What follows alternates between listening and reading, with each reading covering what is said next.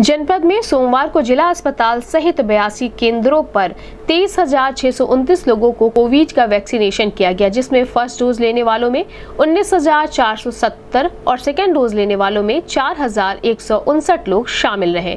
जिसके संबंध में सीएमओ डॉक्टर सुधाकर पांडे ने बताया कि सोमवार को दो महिला तथा दो अभिभावक स्पेशल केंद्र पर वैक्सीनेशन किया गया है। इसके अलावा जिला अस्पताल, महिला जिला अस्पताल, बीआरडी मेडिकल कॉलेज, एम्स और सीएससी व पीएससी सहित बयासी केंद्रों पर तेईस लोगों को वैक्सीनेशन किया गया है। सीएमओ ने कहा कि अब तक 12 लाख से ज़्यादा लोगों को कोविड का टीकाकरण किया जा चुका है।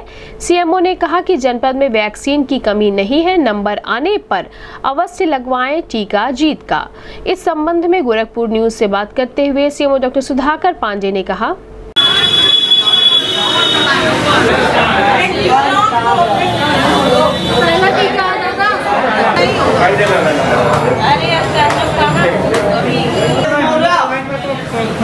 राजेश मौर्य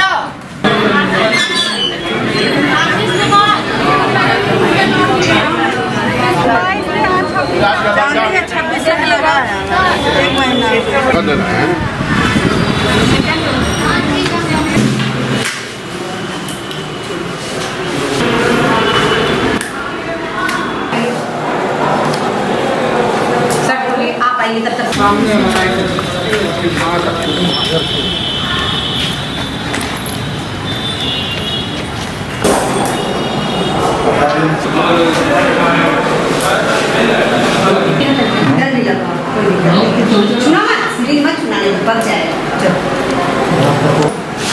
इसमें नंबर आया पिछला बार लगा था कुछ हुआ नहीं था मुझे।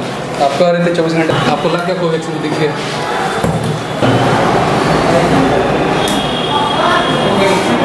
सर आज कितने केंद्रों पर टीकाकरण किया जा किया जा रहा है और कितना लक्ष्य है? आज हमारे ज़िले में बयासी जगहों पर टीकाकरण चल रहा है। इसमें से दो महिला स्पेशल बूथ चल रहे हैं।